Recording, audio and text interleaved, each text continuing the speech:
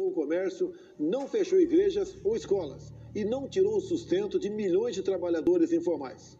O nosso governo joga dentro das quatro linhas da Constituição.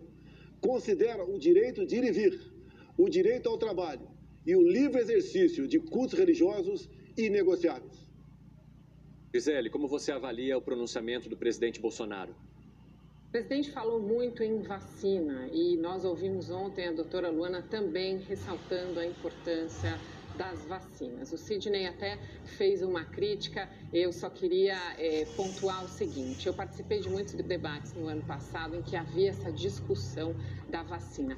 Havia a discussão, Sidney, e a gente precisa tomar esse cuidado de não analisar com os olhos de hoje e com, na, na situação de hoje fatos do passado, nós precisamos nos transportar para o ano passado. Havia uma grande insegurança jurídica com relação aos contratos das vacinas. Isso porque as fabricantes das vacinas, elas exigiam que elas fossem eximidas de qualquer responsabilidade caso as vacinas provocassem nas pessoas efeitos colaterais ou efeitos adversos. Isso porque essas vacinas foram produzidas em tempo recorde e não houve o tempo necessário justamente para que fossem levantadas todas, todos esses possíveis efeitos colaterais. Então, isso é que aconteceu aqui no Brasil. Houve esse, discussão jurídica necessária para que tivéssemos a segurança nesses contratos e também houve a questão técnica. O Brasil é um dos poucos países que tem um órgão regulador específico e era preciso e necessário que a Anvisa tivesse tempo, que os técnicos também tivessem esse tempo para conseguirem avaliar essas vacinas, avalizar essas vacinas, para que então todos os brasileiros fossem vacinados. A doutora Luana ontem ela chamou muito atenção para o aspecto da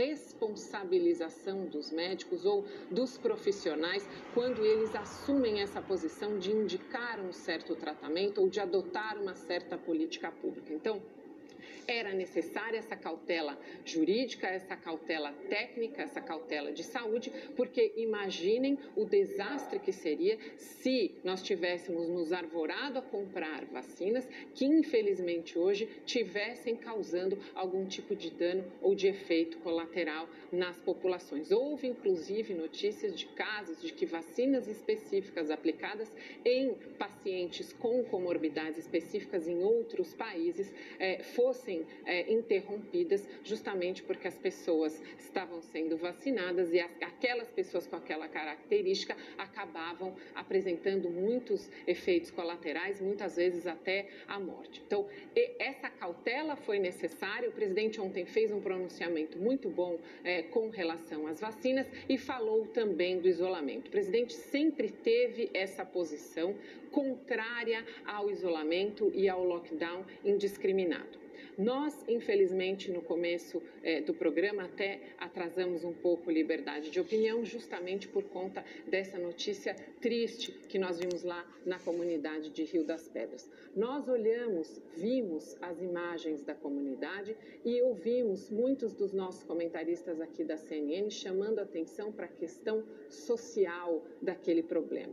Pois bem, o presidente, quando se preocupa em defender um lockdown que não seja um lockdown para todos, que não seja um isolamento completamente impensado, ele está pensando exatamente nas pessoas que vivem como essas pessoas lá da comunidade de Rio das Pedras. Nós vimos as imagens que há uma aglomeração de prédios, uma aglomeração de residências. Então, como dizer para aquela comunidade ou impor para aquelas pessoas que elas façam o isolamento, como impor para aquelas pessoas que muitas vezes dependem de um emprego informal, que elas não vão trabalhar, que elas não vão buscar o seu sustento. Nós vimos que muitas daquelas residências não têm a ventilação necessária e exigida para diminuir o contágio. Muitas, provavelmente, daqueles, daquelas casas, daqueles prédios, também não têm o saneamento básico. Então, como é que a gente vai falar para as pessoas lave a mão, use máscara, quando elas vivem numa situação de tanta vulnerabilidade? Então, essa é a preocupação é, que sempre manifestou, no meu entender, o presidente, para que se tomasse esse cuidado